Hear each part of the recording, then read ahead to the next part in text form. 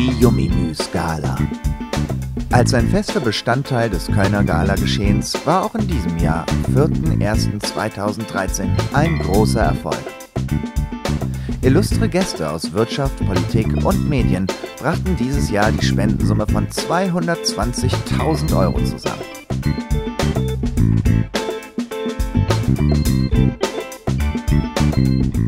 Charity ist natürlich logischerweise immer wichtig. Und ähm, ich denke mal, man sollte es auf jeden Fall tun.